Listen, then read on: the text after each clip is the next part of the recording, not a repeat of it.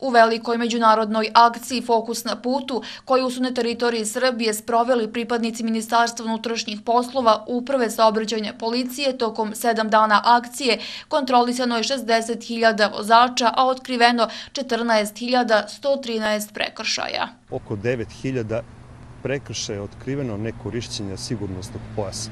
Skoro 4000 prekršaja otkriveno nepropisne upotrebe mobilnih telefona od strane vozača. I ovom prilikom smo otkrili 852 nepropisnih upotreba mobilnog telefona, audio i video uređaja od strane pešaka dok su prelazili pešački prelaz. Kazao da su zadovoljni konačnim rezultatima, ali ne i ispravnim stavom mladih vozača. Još uvijek ne shvataju ozbiljno ove moderne distrakcije kao što je mobilni telefon, kao jednu veliku, ogromnu, veliku opasnost kada je njihova bezbednost u pitanju, ali i bezbednost svih ostalih učesnika u saobraćaju.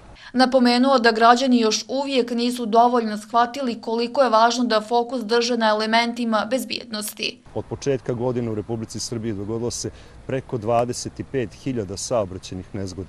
Sve su ovo bile nepredviđene iznenadne opasnosti kada sklonimo svoj fokus sa elemenata bezbednosti na putu i usmerimo ih na naše mobilne telefone, moramo da shvatimo da smo u opasnosti, da ne možemo da reagujemo na nepredviđenu opasnost na putu i najčešće na ovaj način dolazi do onih saobraćenih nezgoda u kojima mi kažemo iz nepoznatih razloga izgubio je kontrolu nad vozilom i koje se obično završavaju sa nekim fatalnim ishodom. Apelovali su na vozače da budu odgovorni u saobraćaju, te da mobilne telefone ostave po strani kada su za volanom.